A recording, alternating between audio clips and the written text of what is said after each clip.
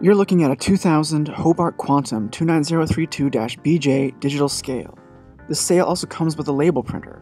The unit is complete and it works. For more information, please see our website today.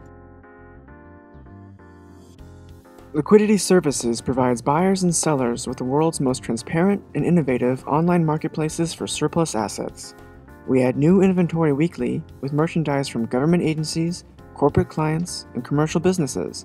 Thank you for visiting Liquidity Services.